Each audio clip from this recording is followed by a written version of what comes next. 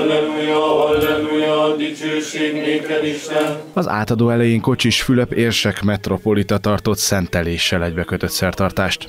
Megáldatik ez a háza szentelt olajjal való megkenés által az atyának és fiúnak és Szentléleknek nevében.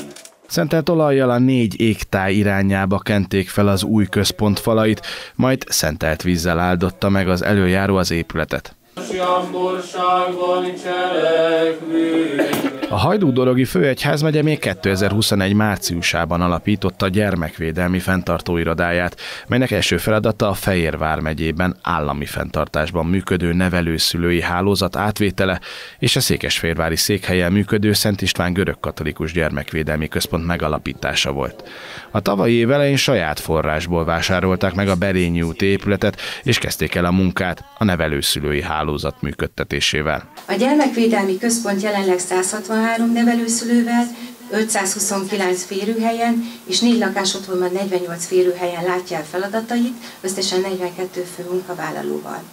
A Székesfehérvári intézményünk mellett Hajdubihar vármegyében kettő gyermekvédelmi intézményben látunk el még szakellátási és gyermekjóléti alapellátási feladatokat egyaránt hatodik haszakad a gyermekeket meg kell védeni. Az átadón beszédet mondott Fülöp Attila, mint a belügyminisztérium gondoskodás politikáért felelős államtitkára fogalmazott, a gyermekeket meg kell védeni. Ha bekövetkezik a gyerek életében a legrosszabb, hogy nem nevelkedhet ott, ahol született, azonnal segítséget kell kérni.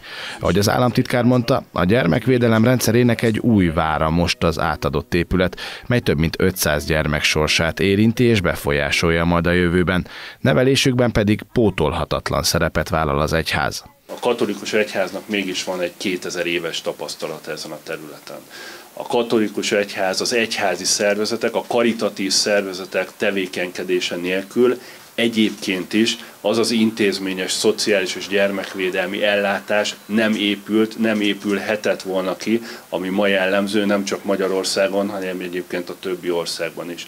És az elmúlt években ez a szerepvállalás ez nőtt, ma azt látjuk, hogy a gyermekvédelem több mint háromnegyedét egyházi fenntartók tartják fenn a nevelőszülőknek, csak nem a teljes spektrumát egyházi fenntartókhoz csatlakozott nevelőszülők látják el, ami azt jelenti, hogy itt van egy jól működő együttműködés.